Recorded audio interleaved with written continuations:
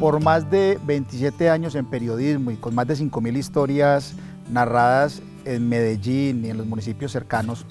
pues hemos encontrado unas historias de vida, historias que tocan el alma, historias que llegan al corazón. Y muchas de ellas no tienen que ver solo con tragedias, con desastres, sino también con muchas de superación, de resiliencia,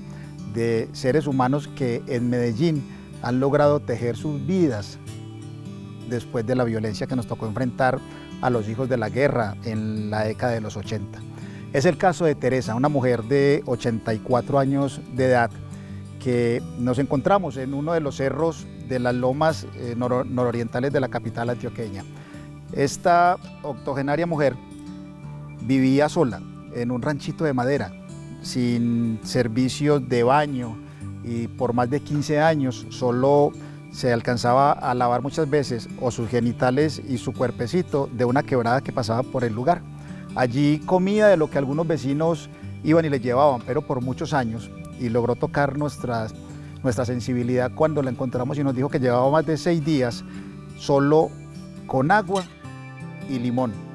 Allí se acabó la sensibilidad periodística y nació el amor del ser humano, de poderse colocar en los zapatos de Teresa y pensar si contar una historia para televisión o tratar de transformar su vida. Decidimos contar su historia no en televisión, sino en redes sociales y se desató una solidaridad maravillosa. Pues hoy Teresa, después de un año y medio, hoy está en un albergue municipal donde encontró el amor y después de 84 años se casó.